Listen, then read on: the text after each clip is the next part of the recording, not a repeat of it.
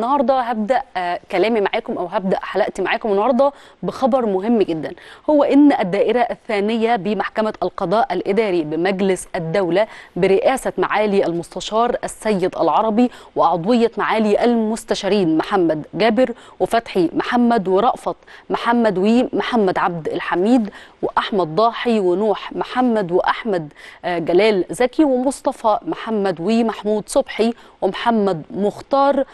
رفضت الطعون أرقام 70451 70452 70456 آه، 70458 المقامة من عبد الله جورج وهاني آه، شكري ومصطفى عبد الخالق وجميعهم رصبوا في الانتخابات السابقة وقبل السابقة والتي أقامها محامي ممدوح عباس وهاني العتال بأسمائهم وطالبوا فيها الحكم بصفة مستعجلة بعزل المستشار مرتضى منصور رئيس مجلس إدارة نادي الزمالك فورا لصدور حكم بالحبس ضده لصالح محمود الخطيب رئيس مجلس إدارة نادي الأهلي وادعوا في طعونهم أن استمرار وجوده رئيسا لنادي الزمالك يمثل خطرا على النادي وسيؤدي إلى انهيار النادي رياضيا وإنشائيا واجتماعيا